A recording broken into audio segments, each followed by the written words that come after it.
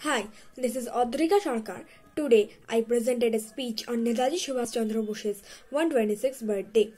I request you all to watch my video, like it, and subscribe our channel, Learning English with Meeta.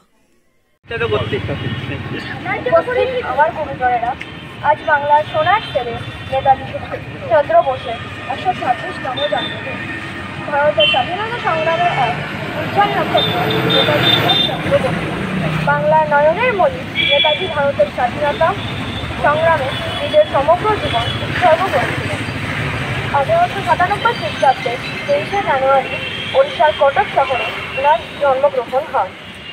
তার পিতার নাম জানকীনাথ বসু ও মাতার নাম প্রভাবতী দেবী।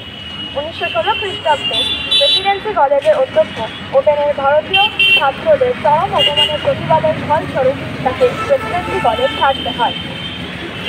Forward block গঠন করেন ও জাপান সরকারের সহযোগিতায় আজাদ হিন্দ গঠন করেন যার ফলে ব্রিটিশদের বুকে ভয়ে নকল করে দেয় নেতাজি ডাক দিয়েছিলেন, তোমরা আমায় রক্ত দাও, আমি তোমাদের স্বাধীনতা দেব।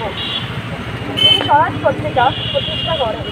জাতীয় কংগ্রেসের সভাপতি হিসেবে বাংলার মুখোজ্জ্বল করেছিলেন।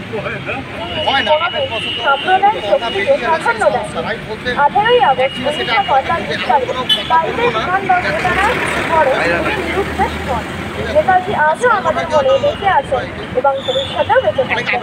তাই তো বলি কে বলে সুভাষ নাই সুভাষ মোদের চেতনায় আর সুভাষ লোকান্তরে লক্ষ্য সুভাষ ঘরে। ঘরে জয়ত সুভাষ জয় বাংলা।